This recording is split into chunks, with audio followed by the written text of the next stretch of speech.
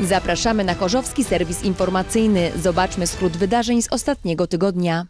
W ramach wspólnej akcji Urzędu Miasta i Komendy Miejskiej Państwowej Straży Pożarnej w Chorzowie 160 czujek dymu i tlenku węgla trafi do rodzinnych domów dziecka oraz mieszkań komunalnych. Tlenek węgla jest gazem bezwonnym, bezbarwnym, bezsmakowym. Praktycznie nie ma innej możliwości, aby go zdiagnozować, że występuje w niebezpiecznym stężeniu, a jest on dosyć podstępny, ponieważ niskie stężenia nie dają od razu dużych rezultatów. To są lekkie bóle głowy, zawroty, natomiast przy bardzo dużym występowaniu stężenia może nastąpić śmierć w ciągu kilkunastu czy kilkudziesięciu minut. Namawiamy mieszkańców, namawiamy e, wszystkich, aby tam, gdzie są te urządzenia grzewcze na paliwo stałe, czy też e, piece gazowe, te urządzenia montowali. Bardzo ważnym elementem jest również oprócz e, montażu czujników tlenku węgla czy czujników dymu, aby zapewnić prawidłową wentylację, bo bez tego też nie będzie, nie będzie to prawidłowo funkcjonować. Akcja Czujnych Chorzów prowadzona jest od 2014 roku. W tym czasie strażacy rozdali ponad 450 czujników. górników. Z okazji stulecia odzyskania przez Polskę niepodległości 600 dzieci z dwóch podstawówek w Chorzowie Batorym utworzyło żywą biało-czerwoną flagę. Dzisiejszy dzień to taki happening Podaj Niepodległą, który polega właśnie na utworzeniu najdłuższej flagi Polski y, z tych kartek uniesionych przez dzieci. Jest to pomysł naszych nauczycielek historii no, w celu radosnego świętowania odzyskania niepodległości przez Polskę. Teraz dzieci jeszcze utworzą taki list y, do Polski, który zostanie odczytany na y, Akademii z okazji Święta Niepodległości y, 11 listopada w naszej szkole. Natomiast no, ta akcja bardzo y, no, tak radośnie przebiegła i widzimy, że dzieci no, świetnie przeżywają ten dzień. My każdego roku z okazji 11 listopada organizujemy w szkole happeningi. Odchodzimy od takich tradycyjnych akademii, ponieważ jest to jest taki przeżytek. Chcemy, żeby uczniowie przeżywali ten dzień bardzo ważny dla Polaków. A ponieważ w tym roku jest taka okrągła rocznica 100 lat, podjęliśmy wspólną inicjatywę nauczyciele mojej szkoły z nauczycielami ze szkoły 12, żeby i w ramach integracji środowiska i w ramach popularyzacji tego święta zrobić taką jedną wielką imprezę. Mamy nadzieję, że jak dzieci to przeżyją indywidualnie, to będą o tym pamiętać, będą opowiadali rodzicom, dziadkom na spotkaniach rodzinnych, że czymś takim brali udział.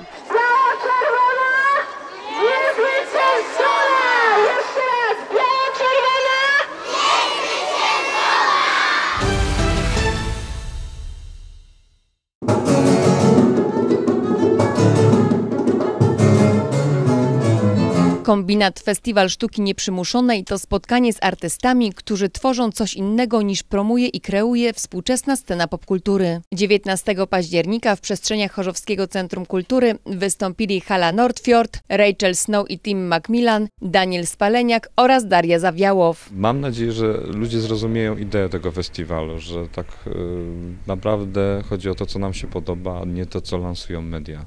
Działa w Polsce i to jest największy grzech polskich miłośników muzyki. Zasada inżyniera Mamonia z filmu Race, czyli najbardziej podobające się piosenki, które już kiedyś słyszeliśmy. Bardzo trudno jest sprzedać e, koncert artysty, który nie jest rozpoznawalny w mediach. A inaczej jest w innych krajach. Kiedy jedziemy na przykład do Niemiec, czy nawet do Czech, to tam ludzie przychodzą y, zainteresowani czegoś, czego jeszcze nie słyszeli, czegoś, czego nie znają, ryzykują. U nas Polacy nie ryzykują. Jeżeli nie znają z telewizji, nie znają z radia, to po prostu nie przychodzą. Jakoś, nie wiem, szkoda im czasu, pieniędzy, a chodzi o to, żeby przełamać ten stereotyp, żeby odkrywać, mm, chodzić, dziwić się. Bardzo często jest tak, że ci artyści popularni wcale nie są tak dobrzy na scenie, jak ci artyści, którzy właśnie nie szukają popularności w mediach, tylko wśród publiczności na żywych koncertach i takich szukamy.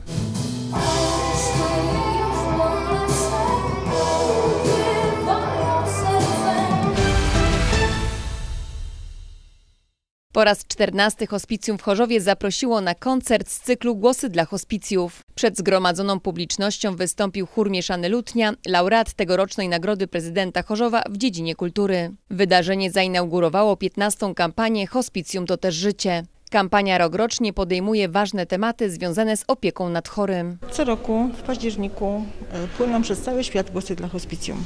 My się w to wpisujemy od wielu, wielu lat. Od sal koncertowych, kilka hospicjów naraz, przez jakieś chóry szkolne, bardzo skromne występy. W tym roku e, mamy, gościmy chór Lutnie, który obchodzi również swoje 110-lecie, więc jest to też dodatkowa okazja. Prosiliśmy o repertuar e, taki troszeczkę poważniejszy, patriotyczny, ponieważ obchodzimy też stulecie niepodległości, więc nam się tutaj to bardzo wpisuje, a do tego jeszcze mamy rocznicę wyboru na stolicy Piotra Jana Pawła II, naszego wielkiego Polaka i patriotę i też chcemy to zaznaczyć, w związku z czym będziemy cytowali mm, te jego dokumenty, które odnoszą się do chorych. Jest ich oczywiście bardzo wiele, wybraliśmy fragmenty z listu apostolskiego Salvi Vici Doloris.